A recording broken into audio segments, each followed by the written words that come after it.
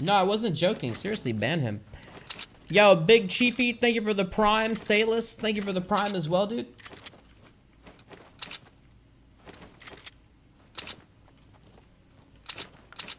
What a nice guy. I'll ban him.